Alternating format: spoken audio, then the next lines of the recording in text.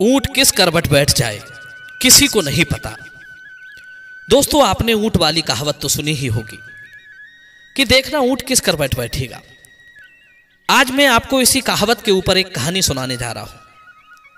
यह कहानी आपको जीवन के कुछ अनमोल गुर सिखा कर जाएगी।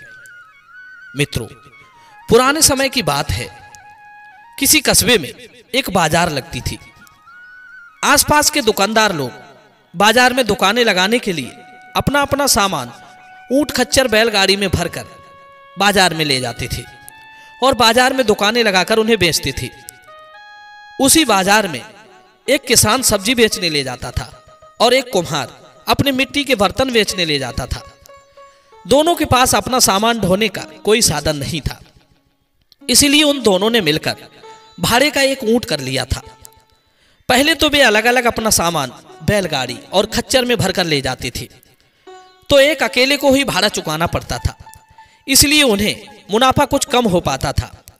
अपने भाड़े का खर्च बचाने के लिए दोनों ने मिलकर एक ऊँट को कर लिया कि एक ही बार में हम दोनों का सामान बाज़ार में पहुँच जाया करेगा और जो भाड़ा बनेगा, उसको दोनों लोग आधा आधा चुका दिया करेंगे। ऊँट से सामान ले जाने का आज उनका पहला ही दिन था। किसान ने ऊँट की एक और खज्जी में अपनी सब्ज़ियाँ लाद ली, दूसरी ओर कुम्हार ने अपने मिट्टी के बर्तन भर लिए। ऊँट वाला ऊँट की रस्सी पकड़कर आगे आगे चलने लगा और वे दोनों ऊँट के पीछे पीछे चल दिए। दोनों बड़े खुशी में चले जा रहे थे। कुछ दूर आगे चलने पर ऊँट ने अपनी गर्दन घुमाई तो उसने देखा कि उसकी एक ओर हरे हरे पत्तों वाली सब्ज़ियाँ लटक रही हैं। ऊँट की गर्दन तो लंबी होती ही है। ऊँट ने क्या किया? अपनी गर्दन घुमाई और खज्जी में से कुछ सब्जियों के पत्ते तोड़कर खा लिए। किसान को यह देखकर बड़ा बुरा लगा। कि ऊँट उसकी सब्जियों के पत्ते खा रहा है। उसने ऊँट वाले से कहा, अरे भाई, आपका ऊँट मेरी सब्जियों को खाकर सारी सब्ज़ियाँ खराब कर देगा। कृपया अपने ऊँट की रस्सी को खींच कर रखिए। ऊँट वाले ने क्या किया? ऊँट की रस्सी को खींच कर पकड़ लिया। मगर ऊँट को तो सब्जियों का स्वाद लग गया था। वो कहा मानने वाला था? ऊँट बार बार अपनी गर्दन घुमाकर खज्जी में से सब्ज़ियाँ खींच लेता था। यह देखकर किसान को बड़ा बुरा लग रहा था। कि बाज़ार तक पहुँचते पहुँचते ये ऊँट, उसकी आधी सब्ज़ियाँ खा जाएगा। बेचारा किसान तो अपनी सब्जियों को देखकर बहुत परेशान था, लेकिन किसान की सब्जियों को खाता हुआ देखकर कुम्हार को बड़ा आनंद आ रहा था। किसान का नुकसान होता देखकर कुम्हार दांत फाड़ फाड़ कर हंस रहा था। वो किसान की मज़ाक उड़ाने लगा। अक्सर लोग आजकल यही करते हैं। उन्हें दूसरे का नुकसान होता देखकर बड़ा आनंद आता है। पर जब खुद पर बीतती है तो सर पीट पीट कर रोते हैं। लोग दूसरे के बुरे में भी अपना सुख तलाशते हैं।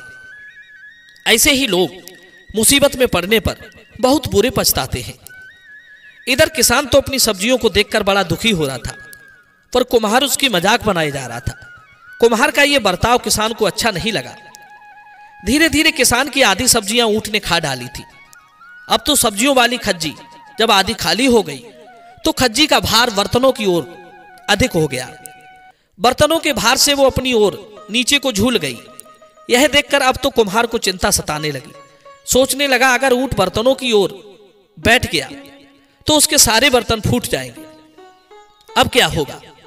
किसान ने भी कुम्हार से कहा, मित्र, तुम मेरे नुकसान को देखकर मेरी बहुत मज़ाक उड़ा रही थी। अब यह देखना है, ऊँट किस करवट बैठता है। हो सकता है भगवान तुम्हारी करनी का दंड तुम्हें बाज़ार में पहुँचते पर ही दे दे। अपने नुकसान के बारे में सोचकर कुम्हार का चेहरा उतर गया। वो भी ऊँट के बैठने को लेकर बड़ा चिंतित होने लगा। मित्रों, कुछ समय बाद ऊँट जब बाज़ार में पहुँचा तो सामान उतारने के लिए ऊँट वाले ने अपने ऊँट को बैठाया। एक और बर्तनों का भार अधिक था, इसलिए ऊँट उसी करवट से बैठ गया। परिणाम यह निकला कि कुम्हार के सारे बर्तन ऊँट के नीचे दबकर फूट गए। अब तो कुम्हार अपना सर पकड़कर बैठकर रोने लगा। कुम्हार को अपनी गलती समझ में आ गई। कि उसने किसान का नुकसान देखकर उसकी हँसी उड़ाई थी। इसीलिए उसका नुकसान हुआ है। इसीलिए तो कहते हैं हम चाहे कितने ही बड़े धनवान बन जाएँ, हमें कभी किसी गरीब की मज़ाक नहीं बनानी चाहिए ना किसी का। बुरा होता देखकर हंसना चाहिए। बुरा वक्त किसी पर भी आ सकता है क्योंकि कहते हैं धन छाया यौवन और स्वामित्व ये कभी स्थिर नहीं रहती।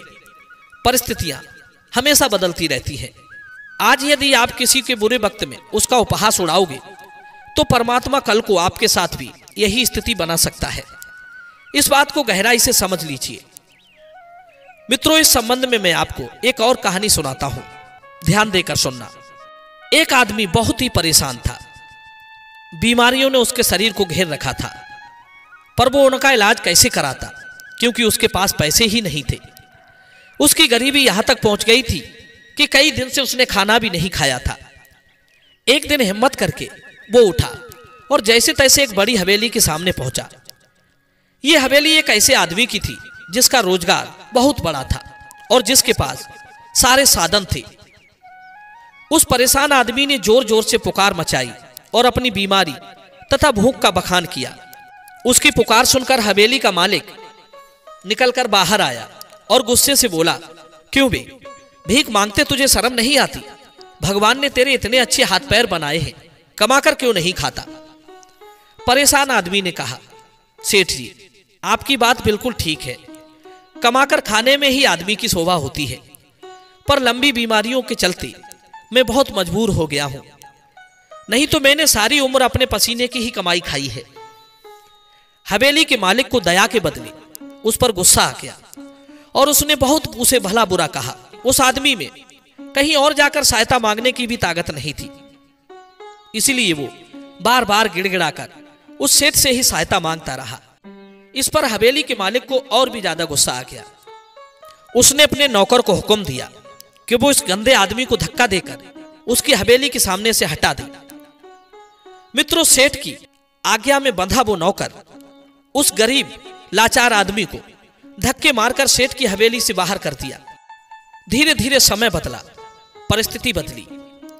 कई वर्ष बीत गए। एक दिन की बात, एक बड़ी हवेली के सामने एक आदमी ने रात के समय पुकार लगाई। मैं बहुत भूखा और परेशान हूँ। साहब, मेरी मदद करो। हवेली के मालिक ने अपने नौकर को बुलाकर कहा, देखो तो भाई, कोई भूखा और परेशान आदमी मालूम पड़ता है। एक काम करो उसे उसे अंदर बुलाकर लाकर ढंग से बैठाकर उसे खाना खिला दो। और उसकी और कोई ज़रूरत हो तो उसे भी पूरा कर देना। मित्रों, नौकर ने उसे बरामदे में बैठाया। तब उसकी ज़रूरत पूछी। उसने कहा, मैं दो दिन से भूखा हूँ। इस समय खाना ही मेरी सबसे बड़ी ज़रूरत है। नौकर ने उसे भरपेट खाना खिलाया और खाना खिलाते खिलाते वो आँखों में आँसू भरकर रोने लगा। मित्रों, अपने आंसुओं को लेकर वो हवेली के अंदर गया। तो उसके मालिक ने देखा कि नौकर की आँखों में आँसू आ रहे हैं। मालिक ने पूछा, क्या बात है? तू क्यों रो रहा है? नौकर ने कहा, मालिक, जिसे आपने खाना खिलवाया है, कुछ साल पहले यही बहुत बड़ी हवेली का मालिक था और अपने शहर के बड़े आदमियों में गिना जाता था। उन दिनों मैं इनके पास नौकरी करता था। आज इसे दर दर का भिखारी देखकर मेरी आँखें भर आई और कोई बात नहीं है।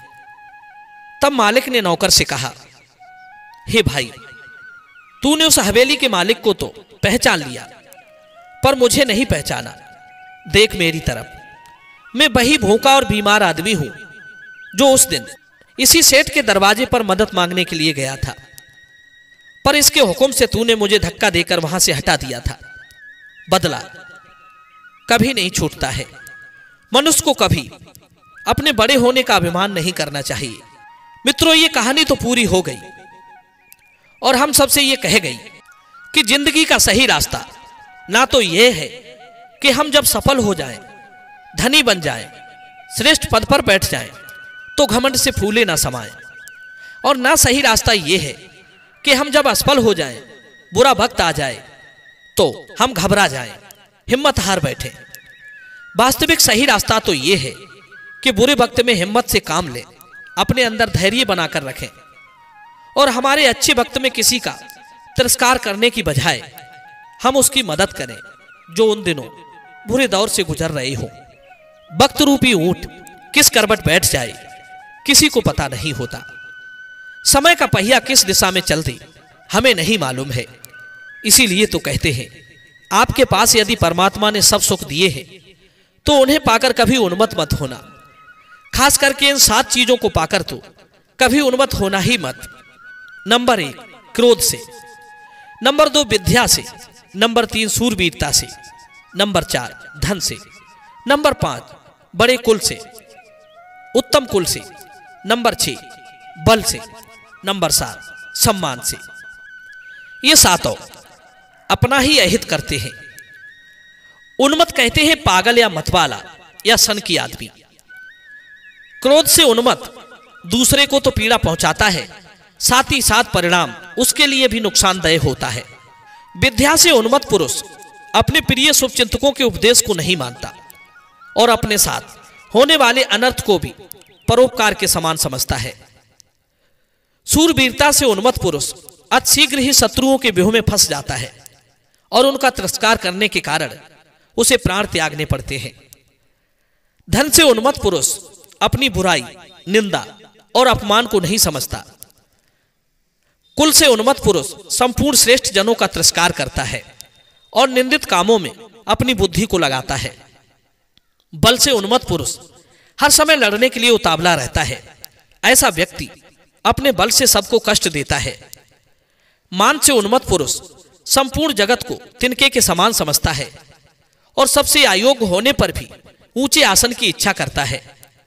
दोस्तों, ये थी बहुत ही महत्वपूर्ण बातें, जिनको मनुष्य को हमेशा याद रखनी चाहिए।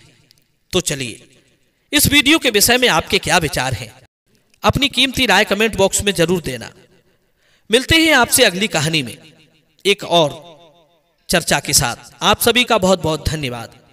जय श्री कृष्णा।